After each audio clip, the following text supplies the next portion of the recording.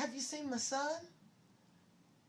He went to the store for, for some Skittles and, and, and, and a grape aid or some drink he liked.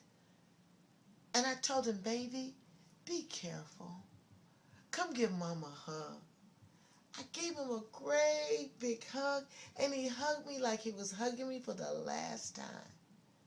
I said, when you go, don't forget, you know I like those Twinkies. It's been an hour and a half.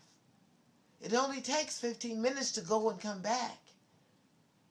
Has anybody seen him?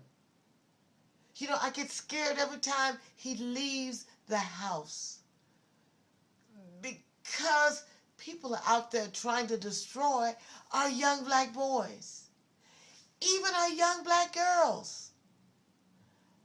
The police, the, the neighborhood watch, all of those people are trying to do something to our babies.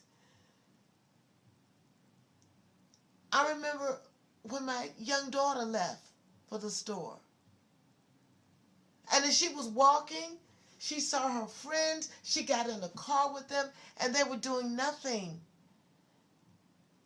And this cop stopped them and shot in the car.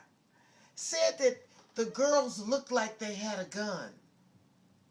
They shot and killed my baby. But you see, you never hear about what they doing to young girls. You only hear about young boys, but that's why I'm, I'm upset about my boy because he's not here after he went to the store. I don't know. It's an attack on all of our children. I. Wait.